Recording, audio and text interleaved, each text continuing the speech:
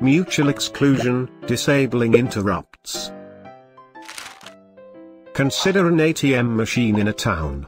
The special feature about this ATM machine is that whenever a customer enters it, he or she has to switch on the light to indicate someone is inside performing a transaction. Once the transaction is complete, the customer leaves the ATM and he or she has to switch off the light indicating that the ATM machine is free for use by another customer.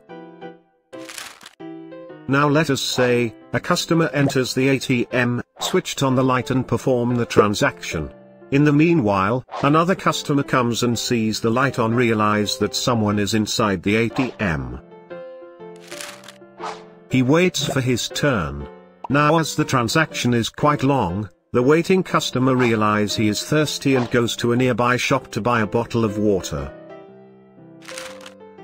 As the waiting customer was buying the water, the customer inside the ATM has finished his transaction and leaves the ATM forgetting at the same time to switch off the light.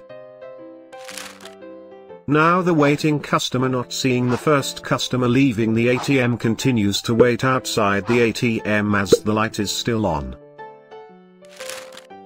The waiting customer will keep on waiting forever until the light goes off at the ATM machine thereby losing his chance to use the service of the ATM machine. This analogy highlight on how the use of disabling interrupts to achieve mutual exclusion fails as it broke rule number 4 that is no process must wait forever to enter its critical region.